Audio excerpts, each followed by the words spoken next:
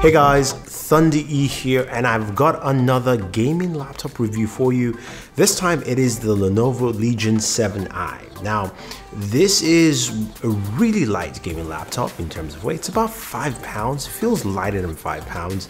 Um, and it is a 15 inch laptop from Lenovo.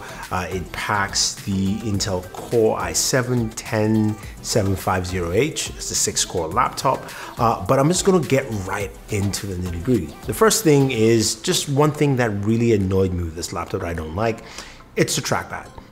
Trackpad, basically once you press down, you can see a gap between the lap, uh, trackpad and the, and the keyboard which is a bit annoying and also the second uh, mouse click takes up most part of the trackpad which I just found quite annoying. But of course it's a gaming laptop. I'm using a wired or wireless um, uh, mouse so that's actually fine. The keyboard itself is really soft but you will get used to it in terms of usability so that aspect is fine now, as I mentioned, 15 inch laptop, I do like the design. I like this design language that uh, Lenovo has been going with. It's pretty solid overall. In terms of ports, you've got, of course, two USB Type-C ports on your left-hand side. One is a Thunderbolt port, uh, and you cannot charge with that port, so sorry about that. Headphone jack on the right. There's a single USB on the right-hand side. Sorry, headphone jack's on the left. USB on the right. Then when you move to the back of the device, you've got your ethernet port, uh, you've got two USBs, HDMI out, and of course the charging port.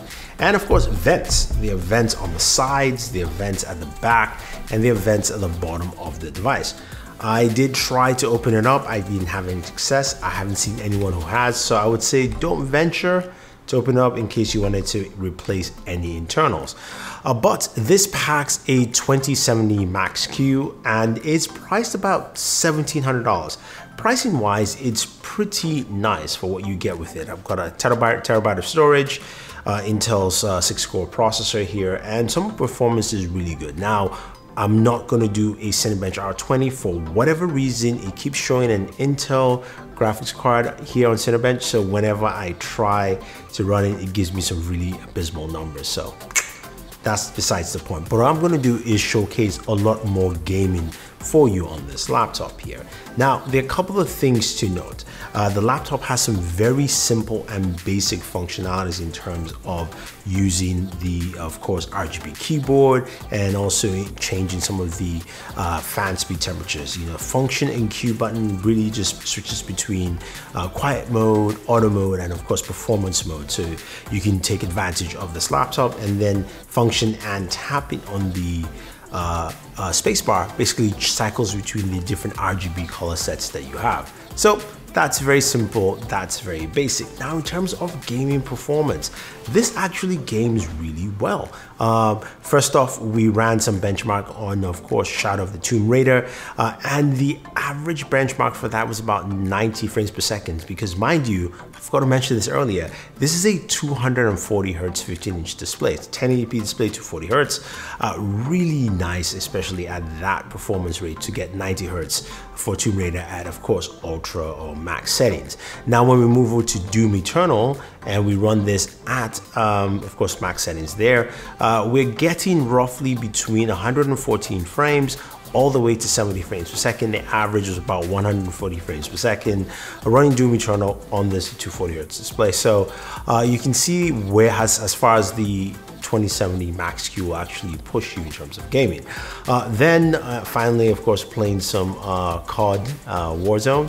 Uh, Warzone we're doing between uh, about 89 to about 100 frames per second, which is really nice. It ran really well. 240 hertz again, playing at that faster frame rate really gives you much more in terms of just performance.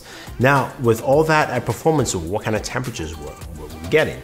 Uh, temps went up to about 105 degrees. What I really like about this laptop, it stays cool. Uh, it stays really, really cool. I like that. I like uh, the fact that I don't feel like my fingers are burning.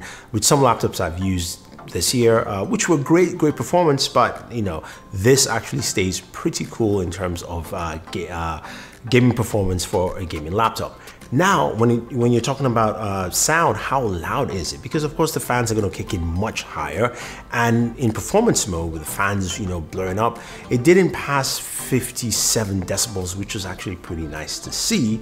And in quiet mode is about 41 to 42 decibels, so really quiet as well. So you can take this with you, you can do a lot of work uh, around people and you'll be fine. So battery life was actually pretty solid, about four hours or so of just general use on a gaming laptop. Of course, all gaming performance, the laptop was plugged in for that, but it is really nice to see that there. Now, the functionality of this laptop that I do like, as I mentioned, is the cooling. Cooling is great. You've also got extensive RGB lighting as well, and those back vents do light up on the laptop. So if you're looking for something like that, that's actually something it can do. I think overall, it's a nice laptop. There are some things I don't like that I've experienced is the trackpad, the keyboard is a bit mushy.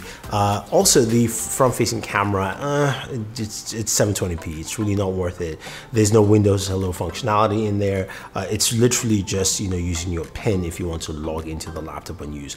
But the gaming experience for me was really solid. I like that, and I think you're getting a decent deal here. But if some of those things are things that you don't care about, and if maybe the trackpad is something that's really important, then this night might not be the laptop for you, but I thought the overall experience was really solid overall for me. So there you have it. If you have any questions or any comments, let me know. Otherwise, don't forget to like, share, subscribe, and always enjoy your entertainment.